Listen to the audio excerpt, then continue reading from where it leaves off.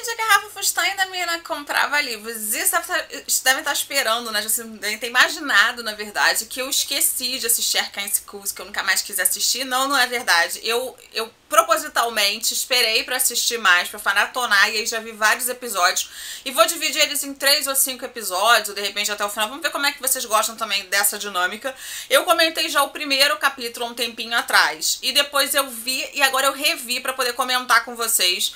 É, eu vou dar aqui minhas impressões sobre a série, que é um dos maiores sucessos turcos, né? E não é por acaso que eu, eu passei a ver de dezembro para agora, porque eu tô escrevendo a continuação de minha novela Turca 2 com um spin-off, que é focado na personagem da Juliane. Então vão ser dois livros, na verdade, né? Ao invés de só um, um pouquinho mais curto, outra continuação mesmo. E eu precisava estar nessa vibe, assim, porque a Juliane é muito fã do Dian Diamant e, né? E a, a outra é muito fã do Ibrahim Silicó. Ibrahim Silicó já assisti quase todas as produções. Eu vou trazer bastante Dian Diamant também agora, em 2022, pra vocês, sendo que eu já tinha comentado algumas produções do Moçoilo é, no outro ano. E tem Demet, né? Que eu sou completamente apaixonada, uma das atrizes que eu mais amo do mundo turco. Então, vamos lá, vamos comentar. Fiz aqui algumas anotações, então vamos ver quanto que dá cada vídeo. Bom, eu vou falar sobre o capítulo 2. É, e assim, quem já me acompanha aqui sabe que essas novelas que são tipo Sandy Alcapme, né, que mistura romance com essas questões de comédia, não são as minhas favoritas. As partes de comédia eu não sinto muita, sabe, muita conexão, não, não, não vejo muita graça. Então, assim, esse início tá sendo um pouquinho duro. Não que eu não tenha gostado. Mas é, não são, né, são aqueles episódios que eu fico, ai, preciso ver outro, consigo parar. Não, não. Porque é, não, não são aqueles episódios que eu amo mesmo, que são os episódios mais de drama, mais de paixão, essas coisas turcas, né? É, e esse é mais voltado mesmo, misturando pra comédia, né? E ela é muito estabanada, a personagem da, da Demet, né? A Sanem. Bom, vamos lá. Nesse episódio, a Sanem pensa duas vezes antes de dizer que não vai à festa da empresa de 40 anos. É, e a irmã, quando chega na festa, finge que não a conhece. Por que, que ela pensa duas vezes? Porque ela não quer casar com o Muzafer de jeito nenhum, né? Que tá prometido ali pra família dela. Mas foi o grande motivo dela é, começar a trabalhar pra ela fugir ali do cara. Bom, é nesse capítulo, né, que é super retweetado, enfim, o pessoal gosta muito, porque é, a Sanem vai é, subir né, lá no, na, na festa, vai até um andar que não é o andar que ela estaria, ela entra errado e ela vai acabar encontrando o Jan, mas é, é tudo no escuro, eles vão se beijar. Ele achando que ela, que ela é a namorada dele e ela aceitando de bom grado cara, e ela vai sentir só que ele tem barba, que ele beija bem e que ele tá de sapato, né? A única coisa que ela vai saber e ela vai sair correndo dali. É, bom, o amigo, né, conta a Jan que o pai dele está muito doente, então também tem essa cena importante nesse capítulo, no capítulo 2. A Sanem volta sonhando com o beijo, imaginando quem é aquele homem barbudo maravilhoso, que a Beijo nem pode imaginar que é o chefe dela. É, o Engre, que é o grande vilãozão da história aí, né? Ele se irrita com a presença da ex, né? Que é a atual, que é a Aidin, Ailin, sei lá como é que fala o nome dela. É, e o pai não pode saber que eles estão juntos, porque ele que tá sendo aí o grande espião, passando todas as informações para essa noiva dele que o pai não pode ver nem pintado de ouro. É, o que mais que acontece? A Sanem tem um ótimo relacionamento com o pai, o que é muito bacana. A gente vê ali os dois super unidos. Mesmo assim, o pai não tem muita voz para ir contra a mãe as promessas de fazer a filha se casar, mesmo contra a vontade, né? Ele diz para a filha que, na verdade, é, se se foi feita essa promessa, eles devem cumpri-la, eles devem honrar ali a palavra para desespero de Sanem. O Jan é, vai ali, né? Não, não, imagina que o que o irmão tá fazendo, na verdade, é, mas avisa o irmão que ficará mais tempo depois que o pai vai ali fazer uma viagem. Ele avisa: não, eu vou ficar mais tempo para desespero do irmão que quer continuar ali com as suas falcatruas. Bom, é, querendo descobrir, né, o trabalho no trabalho quem a beijou, a Sanem faz uma lista, pede pra uma amiga pra fazer a lista dos homens de Barbie e tal. Isso vai um pouquinho mais lá na frente. Mas antes disso, ela vai começar a tirar foto dos homens de Barbie. E essa cena é muito engraçada porque ela vai falar pra amiga: Não, eu coleciono fotos de homens de Barbie antes de contar a verdade. É, a Sanem também conhece o John da pior forma possível, né? Bem atrapalhada, como sempre. É bem exagerado, né? A forma como ela vai ao trabalho, como ela age no trabalho. Parece meio ali, né? Um, um, uma comédia pastelão mesmo.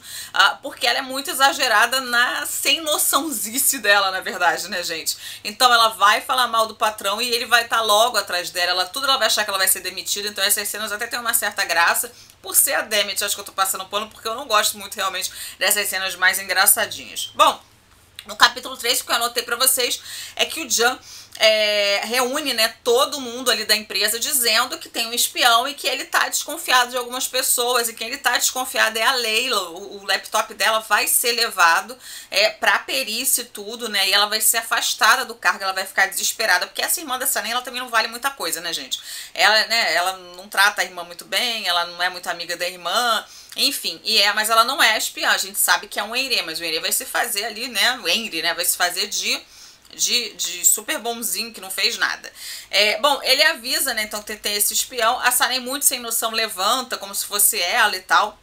Mas como ela começou a trabalhar ontem, ele vai pedir para ela ser, né? Ela não pode ser então a espião porque ela entrou ontem.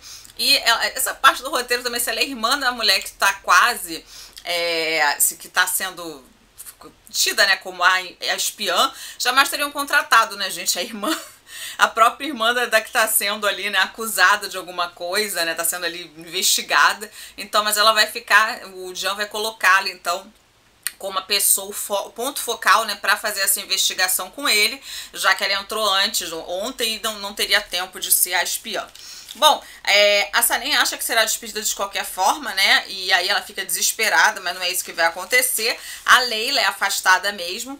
É, e nesse episódio 4 também a gente vai ver é, a, a, o Eren, o Eren, Eren, sabe como falou nesse homem? Ele vai chamar a Sanem e vai é, oferecer um dinheiro a ela, vai ver que o pai dela tá em condições ruins e tal, vai oferecer uma grana em troca disso, desse dinheiro que ele vai lá, né, é, oferecer para ela, ela, ele vai contar uma história, uma lorota para ela de que o Jan é, é uma pessoa ruim, que ele quer colocar o, os negócios dali, a empresa por água abaixo, que ele não sabe o que ele tá fazendo e tal, pra tê-la como aliada. E ela ingenuamente, isso também me irrita, vai acreditar o tempo todo nesse cara.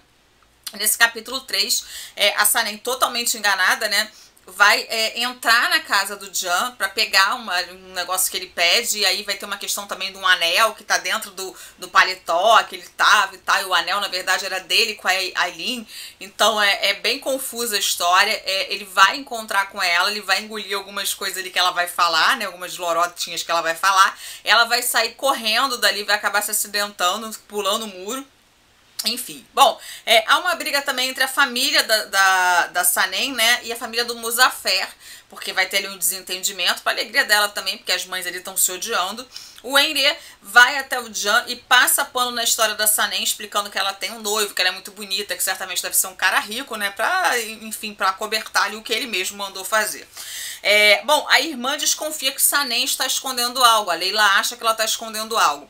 A Sanem é, continua ali, né, enrolada, né, totalmente nas questões do Henry.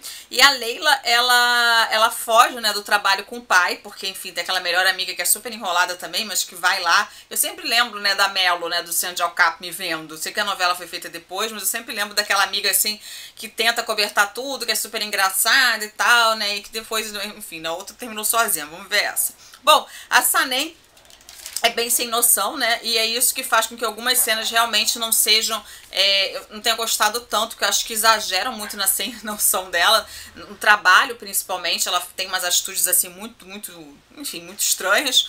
É, e ela vai chegar machucada também. ele vai ter uma cena ali, logo fofa, né? Lógico que a gente tá chipando os dois desde o início, em que ele vai ajudar a curar uma ferida do joelho dela, então ele vai soprar, ele vai colocar ali um remédio e tal, mas ela ainda tá meio, né, cabreira com ele por causa é, dessa história. Bom, é, ele acha a lista, né, de homens com barba do dia e, e, é muito surreal que ele não conecte ali a história de tê-la beijado também, né, gente? Bom, é, ela mente para ele é, que os pais não saibam do noivado, então por isso que ela não tá usando a tal da aliança milionária. E mais uma vez ele, é, ela pergunta se ela está despedida ou não. Bom, é isso, esses episódios que eu vi. Se vocês gostaram, não esquece de comentar aqui embaixo, dar sua opinião sobre a série também e de acompanhar aqui no canal, que tem toda semana tem vídeo, vai ter bastante Arcane Squeeze agora pra vocês. Beijo grande, eu vou ficando por aqui. Até o próximo vídeo, pessoal. Tchau, tchau.